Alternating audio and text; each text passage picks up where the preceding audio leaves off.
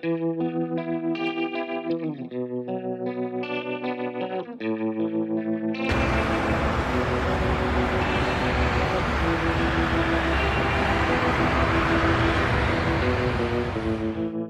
you really think I just forgive and forget?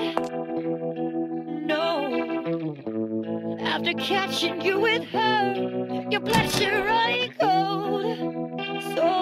You,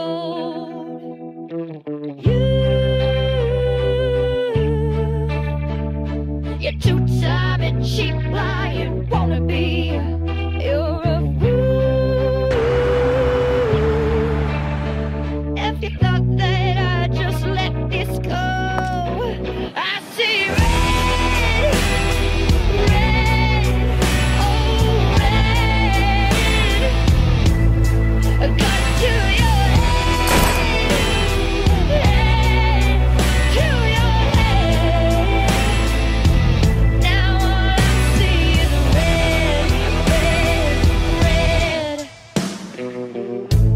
Did you